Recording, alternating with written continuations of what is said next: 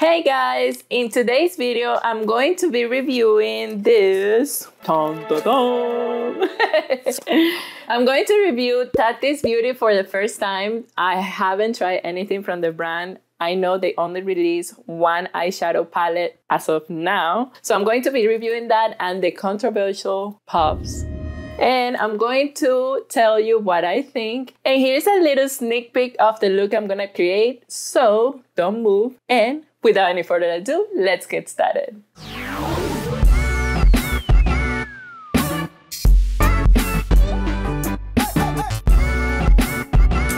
I know that I'm a little late to the party, but I didn't want to review it before because of the whole drama that was going on, and I was like, mm, I'm not feeling it. But now I I'm super curious about how this palette really is because a lot of people were saying that it has a great, great quality and it's actually a very nice palette for you to create different looks, whether you wanna do a nighttime look or you wanna do an everyday look. So I'm going to base my opinion in the palette only. This is not the video for you to know about the drama and all that. There is a lot of videos about that that you can go and click and watch.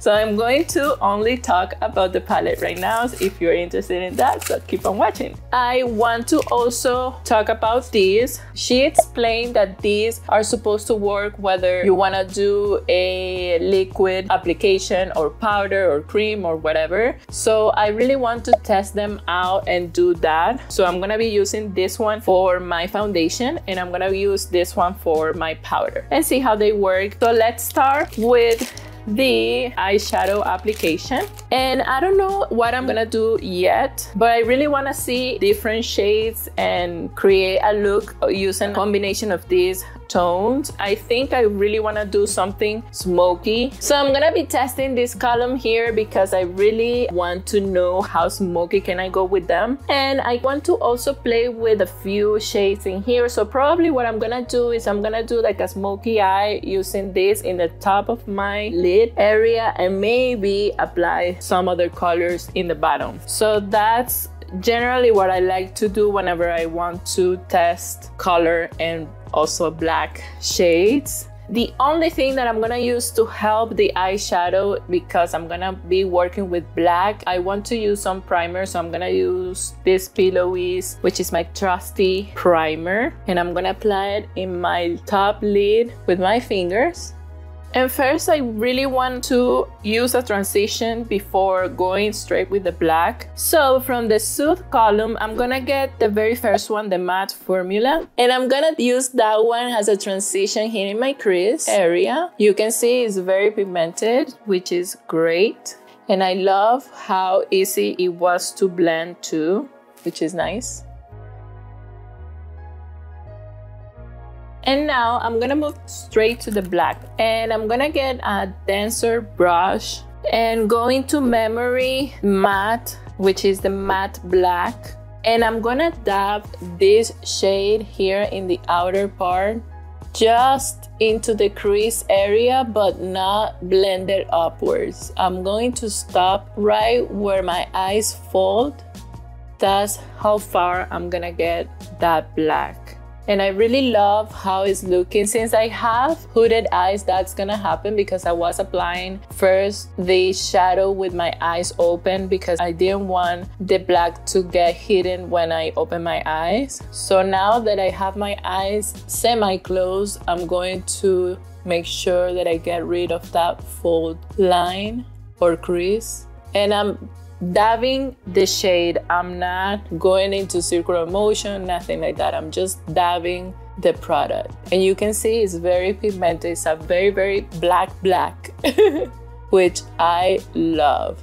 With nothing in the brush, I'm going to start pulling inwards this shade to the middle part of the eye. Now I want to keep this whole eye look a little bit rounder so I'm gonna keep it like that, but I really love how that black is looking and it's super pigmented. Wow, nice. I'm gonna move to the next eye and do the same thing. Wow, this is beautiful. It's super, super black. I'm gonna get the sequin formula from the same memory column. And she recommended for us to use our fingers to apply it so we can get the sequin to show. And I'm going to apply that basically almost on top of what I just applied and going into the center. Do not pass the center of the eyelid. So you're gonna dab it there. And on top of the other shade too, like the black that we just applied. I'm gonna do the same here. And this is gorgeous. I know that sometimes for some people, smoky eyes are a little bit complicated to do or even intimidating, but this technique that I'm using today is actually super quick and easy to do if you are a beginner. This is a type of smoky eye, like when you do a round shape, generally it looks great in everyone, unless you have very, very round type of eyes, which I would recommend you to do more of a cat eye type of shade I'm gonna get a flat brush and I'm gonna get the metallic formula now. And I'm gonna apply that metallic formula into the inner part here and see how, wow, this is gorgeous.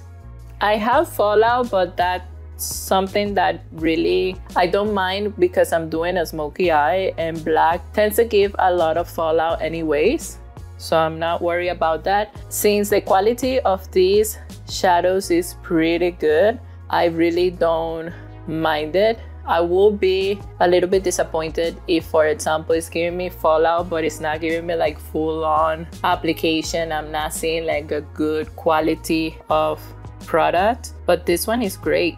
It's very, very good. And the shadows look amazing. This smoky eye is beautiful and I have only applied the black column and just one of the other matte shadows. So I'm creating like a full look only using four shadows, which means that gives you the chance to create a whole look only using one column or you can mix and match, which is great too. Some people love like eyeshadows that are very, I would say like kind of basic that you know what you're gonna do with those. And this eyeshadow palette, I feel like it's very cohesive. You can do a lot with it and you can also be super neutral every day with it too. So that's great. Uh, that I love and enjoy a lot. And also the quality is amazing. It's very, very nice. I'm gonna remove the fallout a little bit with this brush I probably have to go with a makeup wipe but right now. I don't have a lot of fallout. I have just normal fallout because of the brushes and stuff like that. But the product actually, when you put it in your eye, like it stays there. So I'm super, super excited about that. And I'm gonna get the fluffy brush that I was using before for the transition. And I'm gonna get the same shade Soothe, the matte shade. And I'm going to use that one just to get rid of any harsh line here in the surrounding areas of the eyeshadow and further blend that black shade. But I really, really love how everything is looking right now. It's a gorgeous look. Let me clean up a little bit with a makeup wipe.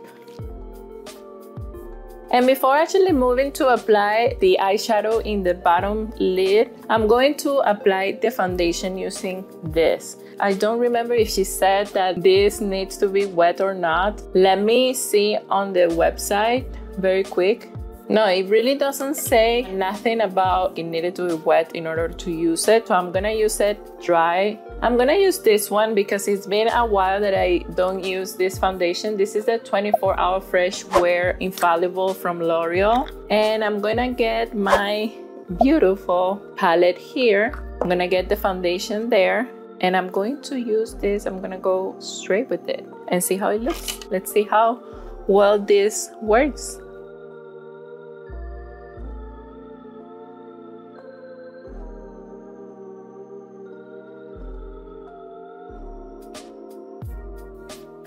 Okay, it was easy. It was actually very fast. I'm not mad at the application. It actually did it very fast. You can see there was uh, super quick. It's actually like using a beauty blender or something like that. So for me, I think I like it. It's not gonna be the type of product that I'm gonna reach all the time, but whenever I wanna do my makeup and I don't have much time to uh, do my makeup, I probably will use this. What I'm gonna do is I'm going to use it also for my cream product applications. I'm gonna use the Mario products here. I have the Soft Sculpt blush stick and I also have the bronzer stick in medium dark. I'm not gonna use the brush that it comes with because I really wanna try this thing. so let me apply it very quick and I'm gonna use the blender fold to blend it. So she said that you can fold it like this and blend. So that's what I'm gonna do. Actually it works very nice. Look at that.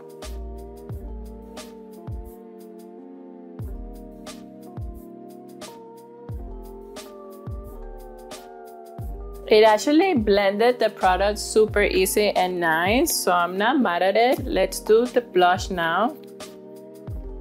I haven't applied concealer. I'm gonna apply concealer after I do the blush. And I'm gonna get another part of the little thing and just do the blush now. I'm using all cream products so I can use this Blendiful. I love this blush, it's beautiful. And this actually works. Like I told you before, if you are a person that wants something quick to do your makeup, probably this is going to be nice. But I see myself using this more for powder than liquid or cream products because it actually is quick, but it's not that quick. You have to know how to work it out. So if you are a person that doesn't know much about makeup tools and stuff like that, this might be a little bit confusing for you. And let me apply some concealer now.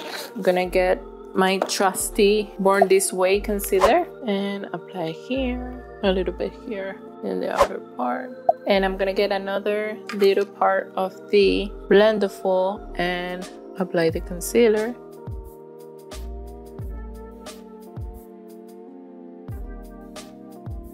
Yeah, this is a good idea, but for example, if I want to reach the inner part of my eye for the concealer, then I need a brush. Like I cannot reach it with the blender Blendiful. Okay, so I apply all of my creams now. I'm gonna set my makeup with some powder and I'm gonna use the other puff here. So let me get the Halo this is the Halo Glow Setting Powder by e.l.f. Cosmetics. I've been loving this powder lately and I'm going to set my entire face with it. Whenever I use a puff, I actually like to get all the product like this. And then what I do is I kind of move around my fingers into the puff just to make sure that it gets into the puff and it doesn't have like those blotches of powder there and make sure that I just go into dabbing motion to set the makeup.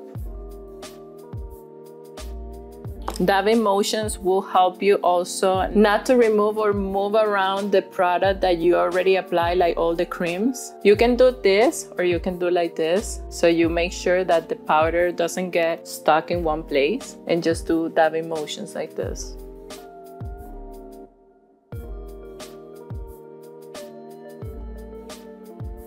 Yeah, definitely. I think these puffs are perfect for your powder. You can see it was super easy for me to apply the powder and set the whole face. Yeah, these are definitely more for powder application. It's a cute, cute idea. I will prefer this for powder, definitely. I feel like it was easy but at the same time tricky to use with the liquid application, especially for the creams. Like you have to make sure that it's not patchy and stuff like that. Now that I already uh, use these two tools, I'm going to finish the entire face. I go apply some highlighter, my lips and all that off camera. And I'll be right back so we can finish the eyes and give you my final touch.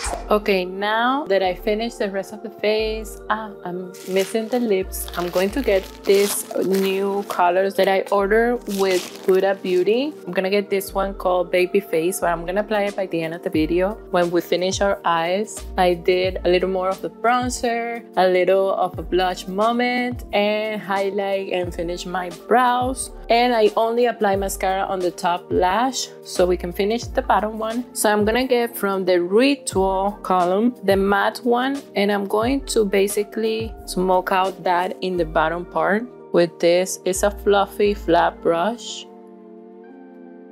like this. Beautiful too. It's a very gorgeous brown. Very, very nice brown. And I think I want to play a little bit with the orange anyways. So with a very uh, small pencil brush, I'm gonna get Story, uh, the matte shade, and I'm going to apply that more into the inner part of the bottom lid, just to give a little hint of orange there, but it's not gonna be nothing too dramatic. This orange is not like a neon orange, it's more like a burnt orange, which is kind of nice too. And I'm only applying it into the inner part and mix it with the brown a little bit. And to finalize the inner part, I really want to apply like a hint of that beautiful pressed glitter so I'm gonna get a small flat brush. Let me see if I can find one. This, this is the A Show concealer brush, the E836. And I'm gonna get this glitter here from the Aura column. I'm gonna get the glitter formula. This is the Aura glitter. And I'm going to apply that glitter here into the inner corner. Wow, gorgeous. I'm taking it a little bit upward. Oh my God. Gorgeous. Gorgeous. So I'm going to finish my bottom lid with some mascara. This is a Kush mascara from Milk Cosmetics. It's one of my favorite mascaras as of today. and I'm loving this makeup look. This is gorgeous. I'm in love with it. And the last thing I'm going to apply is my lipstick. This is Baby Face Cream Lipstick. This is from the Glow line that she released not too long ago, Huda Beauty. And I'm applying this by itself. I'm not gonna do any lip liner yet. I'll probably do like a tiny bit just to define the lips. But I'm gonna apply this first. Oh, this is a beautiful lipstick. Ah, it smells so good. Oh my god. I hit my nose with it. And let me get some uh, lip liner. My favorite lip liner at the moment is Coqueta liner from Alamar. I love this brown and I'm going to use it to define my lips a little bit and that's it. So this is the final look guys. As you can see i did like a very smoky nighttime look with this palette. And i really really recommend if you haven't tried the palette it's not a new palette at all. It's a palette that is in the market for a long time now. I think it has a, at least a year and some if it's not two years. But i really love how well thought it was. I think it's a very cohesive palette. It's a palette palette that if you are a person that loves your neutrals or you are a makeup artist that works a lot with events like brides, proms, and event looks, this palette is going to be super, super cool for you to use. You have a hint of color, but you also have a lot of neutrals that you can play with. And you have that glitter moment that if your client asks you for a touch of glitter, then you have it. For the puffs, I think the idea of using cream or liquid with it, I don't find it very nice for it because the thing is that it's not super, super easy to use. Like if you have the skills to apply your makeup with something like this, then it's going to be super fast and maybe faster than using a brush or a beauty blender. But for me, I think this is a little bit tricky because you have to get the hang of it for it to work with liquids or cream. But I think it's a great idea if you want to apply powders. For powders, I would say yes. Go ahead if you want to try it out, get it. This one is the same thing. I think this one is like a firmer type of consistency that it has. It's a firmer material. And I think this one is meant to be for powder than this one. This one, uh, since it's very flimsy and stuff, I guess you can get it wet and stuff like that. So you can apply liquids too. But both of them for me are powder puffs. I don't see myself using this again for any type of liquid application. But these are great ideas. You can get something cheaper in the market, I'm not gonna lie. I bought these ones from Shein and these were $1.50 and it's the same idea basically. But if you love Tati, you wanna support and you wanna get them, get them. The whole thing, I, I think the winner, and she only has two products in her line as of now. I think definitely if you're thinking about getting the palette, get it. I think it's a great palette for the price. It's a very nice quality. You won't be disappointed. I really recommend it. And I really love this look with it. Thank you guys for watching this video. Don't forget to subscribe to my channel. Leave me on the comments below if you were thinking about getting the palette or if you already have it, how you like it. I would love to know your thoughts about it. And leave me on the comments below if you want me to maybe revisit the palette and do something else, maybe something more neutral, not this you know, patty look that I did today. Let me know. Let me know in the comments what you think. Share this video with your friends if you like it. Give me thumbs up. And I see you on the next one. Bye bye. Yo.